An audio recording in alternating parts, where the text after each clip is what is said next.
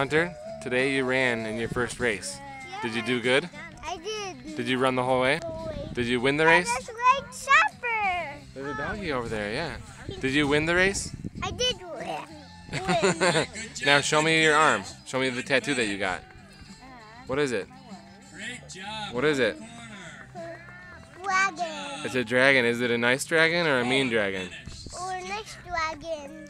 Mommy is gonna be really happy with that dragon. With that dragon. How fast did you run? You So fast. are steeple man.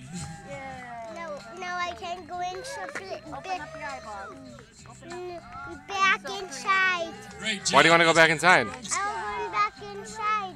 All your friends are right here though. There's the there's Bubbles the clown. And these are all the girlfriends that Hunter made today.